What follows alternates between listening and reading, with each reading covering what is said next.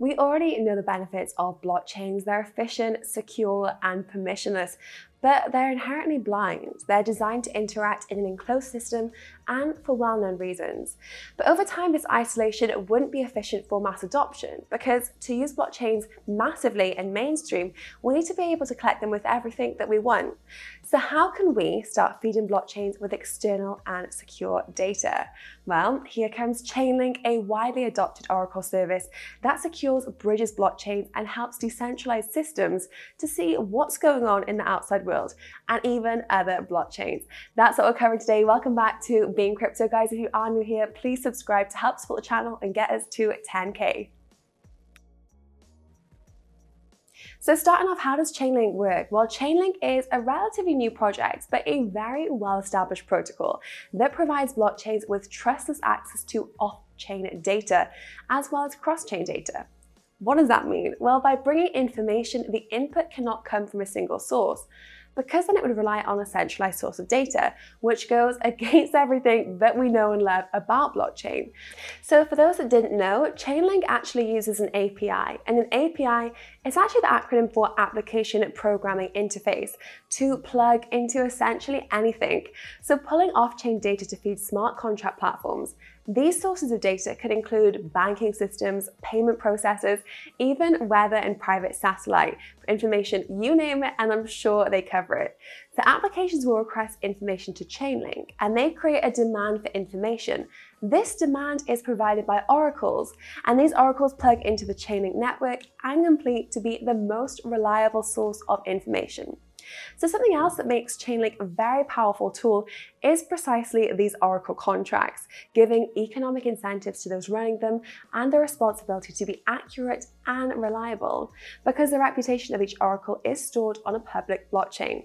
This potentially attracts high quality node operators to the network, and their incentives will motivate them to build a reputation on the Chainlink. So it seems like a win-win relationship.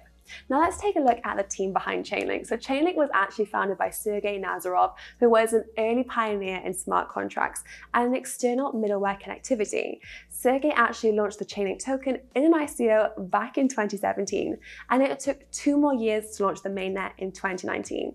And the team actually managed to stay on top of the competition.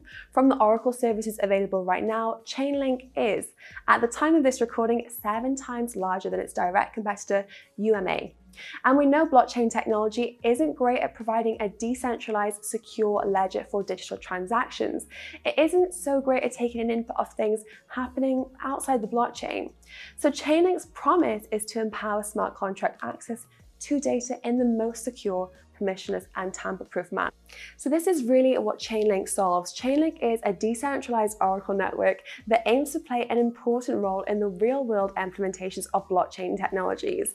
As a decentralized Oracle, Chainlink can provide input to smart contracts from market prices, interest rates, Internet of Things data, GPS, supply chain data, and just so much more. The purpose of this network is to provide smart contract inputs on a variety of external sources of data that's not available on their own. And when it comes to creative value for its token link, the protocol has some pretty interesting features. With a total token supply of 1 billion tokens, data requesters pay oracles for fetching data in Link, and the data oracles that we mentioned earlier have to put down Link as a collateral to guarantee uptime and also data reliability. So creating a natural demand for the token, oracles want to participate and use Link. Data requesters want to use Oracle services and they use Link too. This also creates a deflationary effect since Link oracles have to lock up Link tokens, reducing the available supply for a while, which is a good cause for the price to go up as the demand does increase.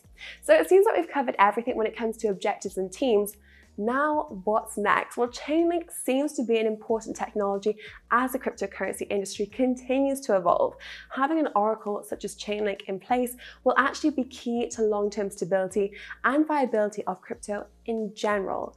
Many well-known protocols are using or will need to use the services that Chainlink offers. As the industry grows, everything with smart contract capabilities is an opportunity for Chainlink. Think of Polkadot, Solana, Binance Smart Chain, and Cardano, and even the protocols that are built on Ethereum. And the industries that it serves are wide too. Chainlink has many use cases, such as providing data feeds to smart contracts, creating communication standard between protocols, but also allowing them to integrate with each other, price feeds and public data assets that any service can connect to no matter which data comes off chain, of which Chainlink is the largest today. And also it can play a really important role in the gaming and the gambling industry as it aims to randomize and also the ability to use unbiased data security. So the question now is, could it become an industry standard as the most widely used decentralized network?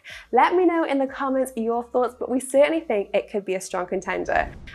And if you are looking to get started, you can trade top cryptocurrency futures or hold them on StormGain, which is BeInCrypto's partner crypto exchange. The link is down in the description box below and you might get a cashback promo on your first deposit. Guys, that is all for this video. Let me know your thoughts and don't forget to subscribe to not miss any more content like this.